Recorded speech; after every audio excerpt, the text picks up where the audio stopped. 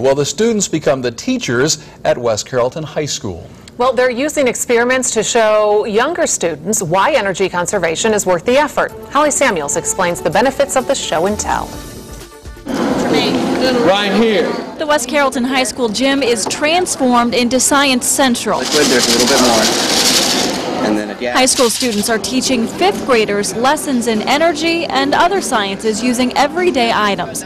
They're making music with piping for a lesson in sound waves. Again, F, F, C, C, D, D, C. They're learning about conservation. This is um, the stuff they use in diapers, and if you, the presentation is if you pour water into it, it gels up, and it's representing the non-renewable resources in Ohio. And they're sparking a light to learn about electrical currents. It completes the circuit. So if we even touch, electricity goes through our bodies and completes the circuit. Here we've got high school students from our green team uh, mentoring some middle school students, and they're together they're teaching fifth grade students about energy conservation, alternative energy sources, and uh, other energy concepts. The lessons cover curriculum for not only the fifth graders, but the high school students as well. A lot of